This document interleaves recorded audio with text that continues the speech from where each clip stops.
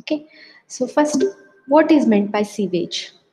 So, sewage is nothing but the liquid waste that is composed of wastewater that comes out from the domestic, industrial, and groundwater waste.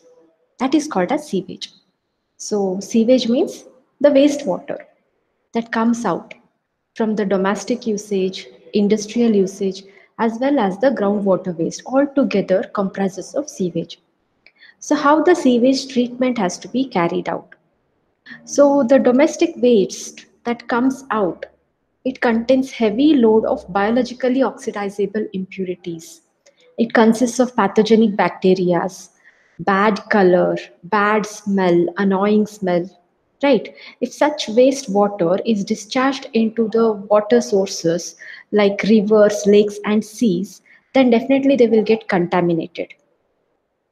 So, because of this contamination, it leads to the several effects like depletion of the dissolved oxygen takes place. So, as the dissolved oxygen will get reduced, then the survival of the fish and the aquatic life will undergo problematic. So destruction of the fish and the aquatic life will take place. And also the bad smell and that color will affect the quality of the water. And the bacteria, the pathogenic bacteria that will be present in that kind of contaminated water will cause the waterborne diseases.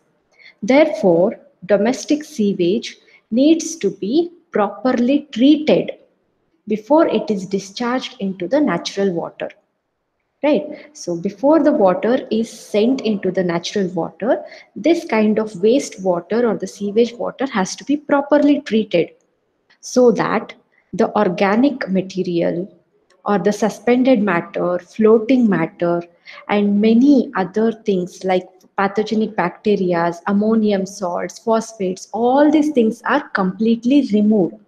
And then it is subjected for the entry into the natural water. So how do we carry out the treatment process for this kind of sewage water?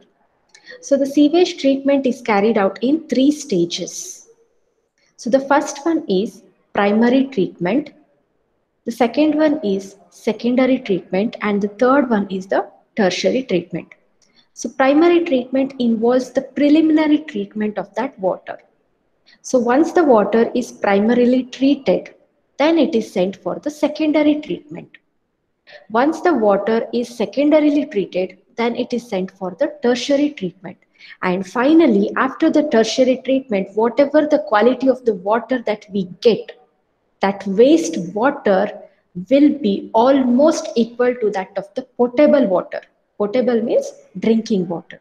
So how this st various stages or the steps of the water treatment is being carried out, let us see one by one.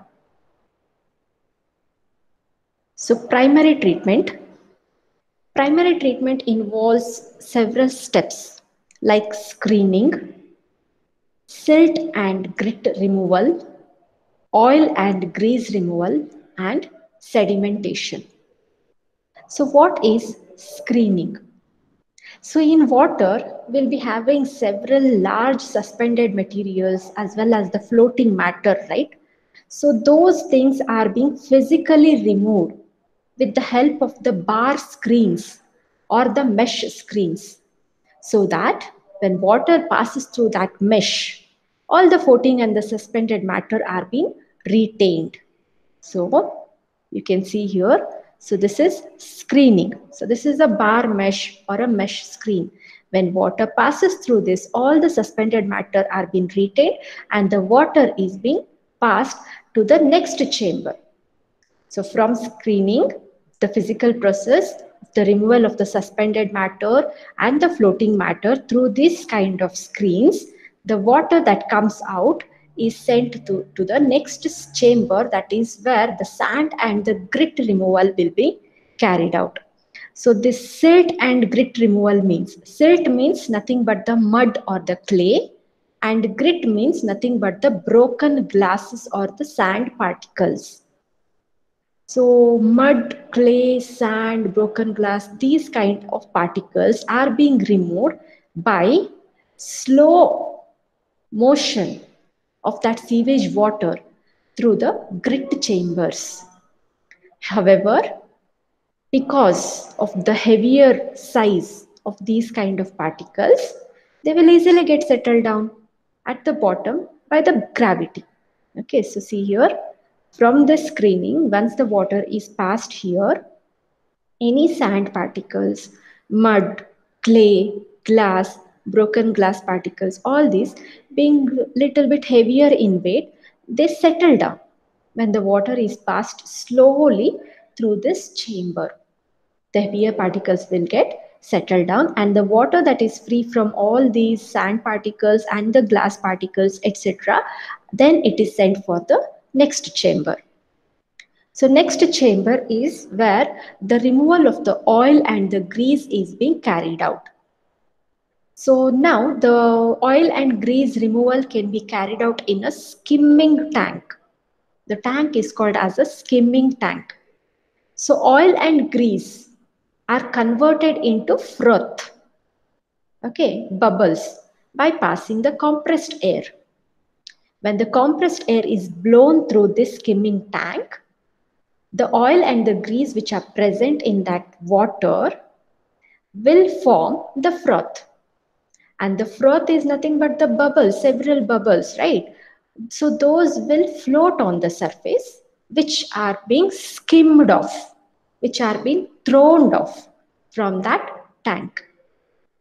Okay and then next it is sent for the sedimentation process now we, what all we removed? We removed the floating particles through the screen. We removed the sand, glass particles through the slow motion so that due to gravity they got settled down. And also we removed the oil and grease by converting them into froth by passing the compressed air and skimming them off. Now what else is there in the water? Very fine particles, very, very fine suspended particles that are very lighter in, in weight, they cannot get settled down, right? So those fine particles are still present. So how do we remove them? So we can remove them by adding the coagulating agents like alum, ferrous sulfate and converting them into precipitate. Converting them into undergo the process of coagulation, flocculation so that they undergo flocculation and becoming heavier in weight, they will easily settle down.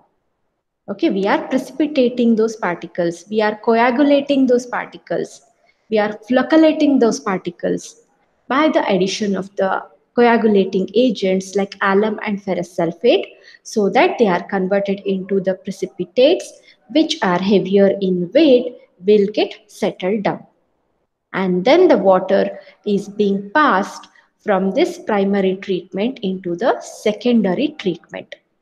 So this secondary treatment involves the biological treatment. So we have still not removed the organic matter. The organic matter that comes from the foodstuffs, that come from the fecal matter of the uh, animals and the human beings is still not being removed, right? So those things has to be removed now. So that is called as secondary treatment, wherein which we are carrying out a process called as activated sludge method. So this is very, very important for your final semester exam. So among this water treatment, the definite question that can come appear in your VTU exam is the activated sludge method. So here you need to draw this diagram and then explain the entire process with respect to this activated sludge. So what is this activated sludge method? So whatever the water we get from the primary treatment, that water is mixed with the activated sludge, with the known quantity of the activated sludge. So what is this activated sludge? Activated sludge is nothing but wet mud kind of thing that contains microorganisms and the aerobic bacteria.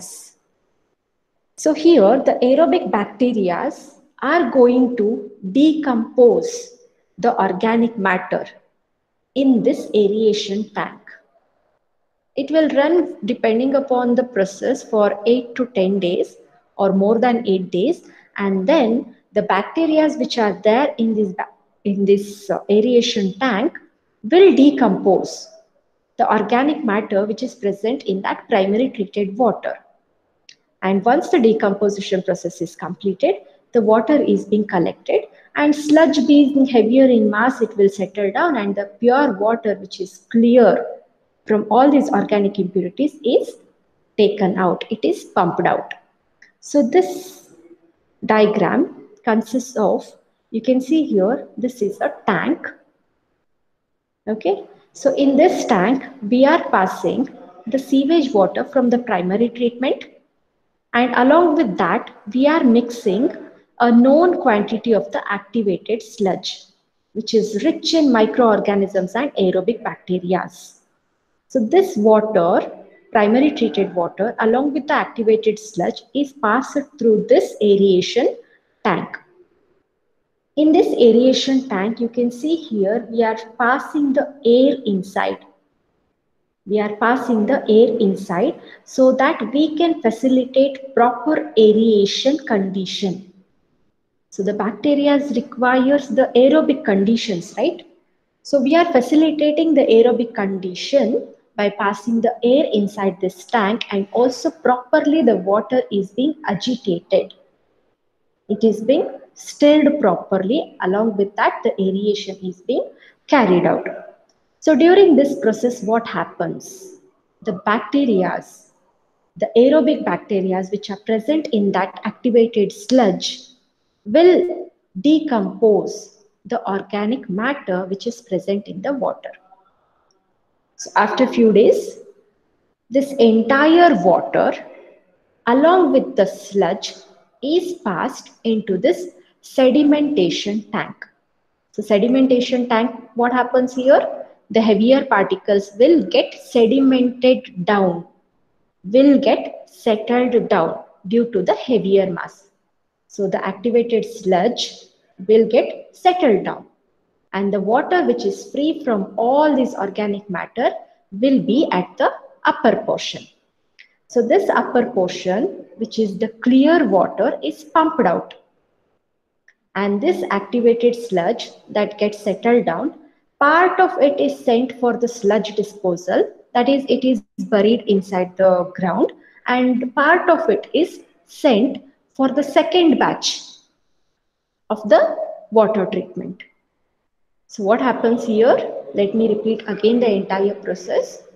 The sewage water from the primary treatment is mixed with the activated sludge, which is rich in microorganisms and the aerobic bacteria. And then the air is passed inside this aeration tank to provide the proper aerobic conditions for the bacteria and the water is properly agitated as well. Therefore, what happens during this process? The aerobic bacteria will oxidize the organic matter or they will decompose the organic matter okay during a certain period of time. And later this entire water which is decomposed i mean the organic matter which is present in the water is decomposed. Along with that whatever the sludge is present all together is passed into the sedimentation tank. So in the sedimentation tank the heavier particles will settle down that is heavier particle is nothing but the sludge. Sludge will settle down and the water that is free from this entire organic matter is pumped out as a clear effluent sample. And this sludge part of it is sent for uh, underground burial into the ground for sludge disposal and another part of it is sent for the fresh batch of the primary treated water to be treated in the aeration tank. Got it? So this is all about activated sludge method. So now the effluent that comes out from the secondary treatment is having very less concentration of the organic load. So it's almost over. Okay. And this water is sent for chlorination. So chlorination is done in order to kill the pathogenic bacteria, in order to kill the germs.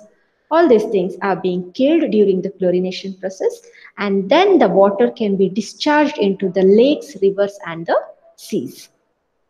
But by chance, if this secondary treated water contains high concentration of phosphates, any colloidal impurities or the non-degradable organic load, then the water has to be sent for the tertiary treatment.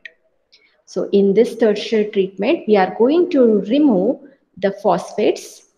We are going to remove any fine particles still if they are present by the process of coagulation and sedimentation. We do the normal filtration process as well as we remove any of the gases like ammonia or carbon dioxide if they are still present by the process called as degasification and finally the water is disinfected to kill any of the bacteria if they are still present. So after the tertiary treatment whatever the water we get it is containing very very less bod less uh, phosphates.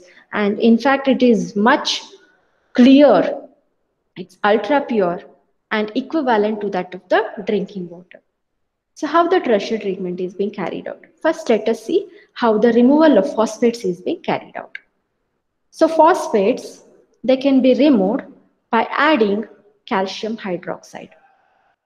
The phosphates can be removed by adding calcium hydroxide. So when we add calcium hydroxide, calcium hydroxide reacts with phosphate and they precipitate as calcium phosphate at the pH of 10 to 11. At this pH, even the ammonium salts which are present, they are also converted into ammonia. Okay, so how it is being done? So calcium hydroxide reacts with the phosphates and precipitate as calcium phosphate. So at that pH 10 to 11, even the ammonium ions which are present react with the calcium hydroxide and forms ammonia. Thus, phosphate and the ammonium ions are converted into calcium phosphate and ammonia gas. Okay, next, coagulation and sedimentation. So any fine particles, if still they are present. So fine particles means remember that we have to add the coagulating agents for them. So which are the coagulating agents which we commonly use? It is alum and ferrous sulfate. So that these will get precipitated as aluminium hydroxide and ferrous hydroxides. So these coagulants will form flocculation and they get settled down because of its heavier weight. Okay, so all the things which are settled down then they are sent for the filtration. So in this filtration process, we use a conventional sand filter beds so that the we can remove any suspended matter if it is still present or any precipitates if it is still present. All these things are being removed in this filtration process. And finally, we still have the gases in that like we converted that ammonium ion into ammonia gas right? So that ammonia gas is still present even the water contains the dissolved carbon dioxide in it. So all these things we can remove by using the degasifier degasifier means d means removal of the gas. Okay so how the gases are being removed here so I think you guys remember that in the boiler corrosion, for the removal of that oxygen, we used a deaerator, right? The same thing is being used here also. So it is a large tower which consists of several layers of the perforated plates. Number of perforated plates will be there. And this hot water is passed through that large surface area perforated plates so that the water when it gets spread in that large surface area plates due to the temperature and due to the surface area exposure, any gases, if they are present, they strip out from that water. And the gases will go up through the outlet given and the water falls down, which is free from the gases.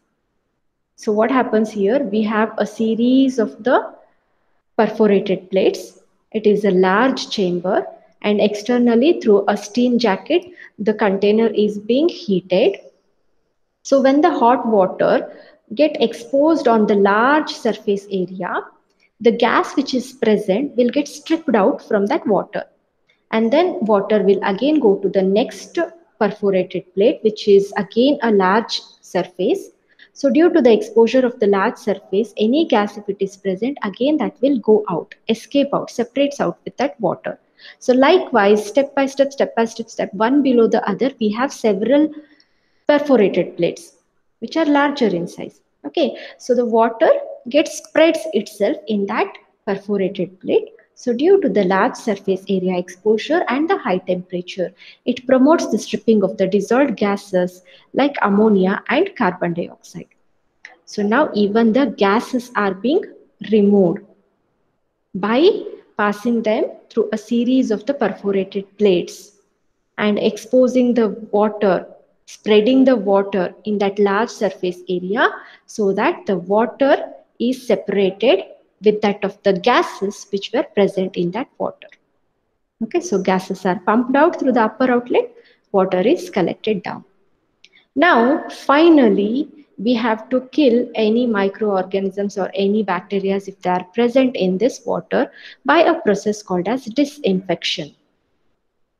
So disinfection means the pathogenic bacteria are being killed here. So how it is being done? So one of the cheap and the effective method, cost effective method is the chlorination method. So add chlorine to water so that it will form HOCl, which is nothing but hypo hypochlorous acid, which is unionizable, plus H plus plus Cl minus at the pH of 6.5. So now what happened? This hypochlorous acid that is the unionized HOCl which is formed due to the reaction between the chlorine and the water will attack the cells of the bacteria and it will kill them. The unionized HOCl which is formed during this process will attack the cells of the bacteria and it will kill them. So the finally the water that we get from this entire tertiary treatment has BOD less than 1 ppm, ammonium ions less than 1 ppm, phosphate ions less than 1 ppm. So what can we conclude then? The water thus treated is of high clarity, free from any kind of bad odor. It is having very less biological oxygen demand and therefore now the water is equivalent to that of the drinking water. And hence it can be recycled. Okay? So this is all about the wastewater treatment or the sewage treatment involving the process of primary treatment wherein which we are going to remove the suspended particles the sand particles broken glass particles, any small finely divided particles by the process of coagulation, coagulation adding the coagulating agents like alum and ferrous sulfate, and also by removing the oil and grease, by skimming off them in the skimming tank, converting them into froth, and then in the process of activated sludge method, the primary treated water is sent to the secondary treatment. In case of activated sludge, the aerobic bacteria will decompose the organic matter and then the free water is sent the water that is free from the organic matter is sent for the tertiary treatment. In tertiary treatment we are removing the phosphate by converting it into calcium phosphate by the addition of calcium hydroxide. Even the ammonium ions are converted to ammonia. Any uh, still more present finely divided particles are uh, coagulated again by the coagulating agents addition. And then degasification is done to remove the gases. Filtration is being done to remove any of the suspended uh, particles. And then finally the disinfection is being done by the process of chlorination. So everything is being removed now. The water is of highest purity which is equivalent to that of the drinking water. Okay? So potable water means nothing but the drinking water. The water that is safe for human consumption is called as potable water. The water that is free from the contaminants and which is not harmful for the human beings is called as safe water or the potable water. So what are the characteristics of the good quality drinking water? It should have high clarity, it should have good taste, it should be free from any kind of the annoying or the bad smell or the odor. It should be a soft water, not a hard water. It should be a soft water and it should be free from the pathogenic organisms. Okay, so we are lucky enough to get this kind of drinking water. But what about certain countries where they don't get this kind of water, but instead they are forced to take up the sea water itself for the drinking? Sea water is highly salty, right? So can we drink such kind of water? No, we cannot drink such kind of salt water. So in that case, we need to remove the salt from the seawater and then supply it for the drinking in such kind of countries. So that removal of salt from the seawater is called as desalination. So desalination is another important question. So here what is desalination and express the process of reverse osmosis can be asked for 3 to 5 marks.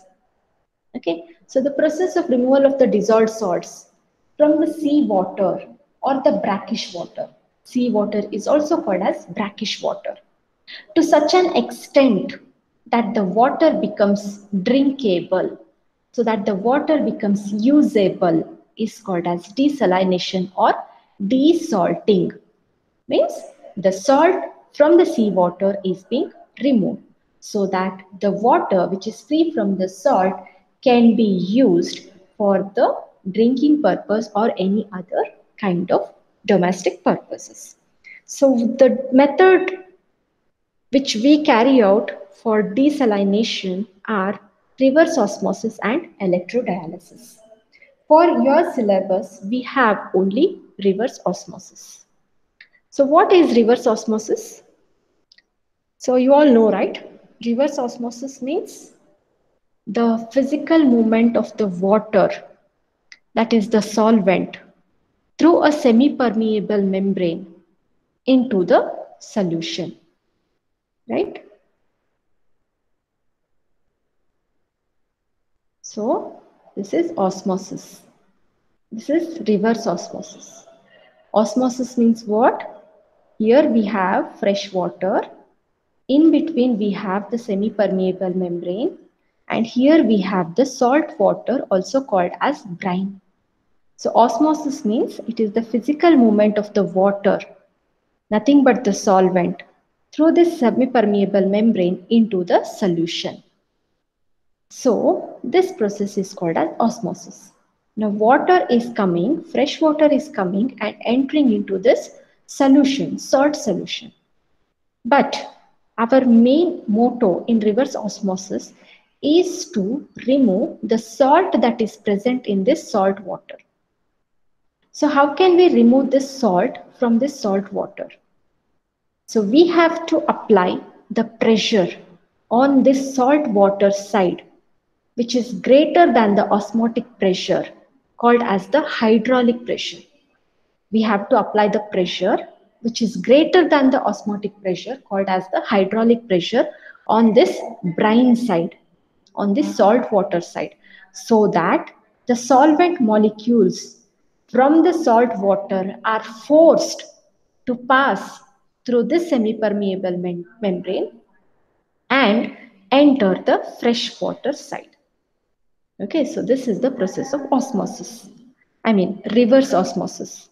So where we are going to oppose or reverse the natural spontaneous osmosis pressure we are forcing the water to go from the solution side into the solvent side. by applying the pressure greater than that of the osmotic pressure. Okay, so what is reverse osmosis? Osmosis is the physical movement of solvent through a semi-permeable membrane. We all know that. And this membrane is going to allow only the water to pass through it and not the salts. Yes. If such a membrane is placed in between the brine and the pure water, if such a membrane is placed in between the salt water and the pure water, so water has a natural tendency to flow through the membrane and enter into the solution side, to enter into the salt, salt water side due to the osmotic pressure. So now this natural process can be reversed by applying a pressure that is greater than the osmotic pressure so that the water from the brine side is forced to flow into the freshwater side. So the usually commonly used semi-permeable membranes are cellulose acetate or polyamide. So these will allow only the water molecules to pass through it. Now what we are doing, we are applying the pressure greater than the osmotic pressure so that this water from the salt will enter this freshwater side. Thus the process which reverses the natural spontaneous osmosis is called as reverse osmosis. Okay, so for this, I have a video for you. Please watch it. The core technology used at the Adelaide desalination plant is called reverse osmosis. First, let's explain what osmosis is. Osmosis is a naturally occurring process in which a liquid, such as water, spontaneously passes through a membrane. The membrane or semi-permeable barrier allows some molecules, like water through, but other molecules, like the majority of salts, are unable to easily pass through the membrane structure. The flow of liquid through such a membrane occurs naturally to try and even out the salt concentrations between the two solutions. That is, the liquid flows from the less concentrated solution, such as fresh water, to a more concentrated solution, such as seawater. When the direction of liquid flow is reversed, it's called reverse osmosis. By pressurizing the concentrated solution, in this case seawater, we are able to force water molecules in the reverse direction, from the salty seawater side through the membrane to the freshwater side.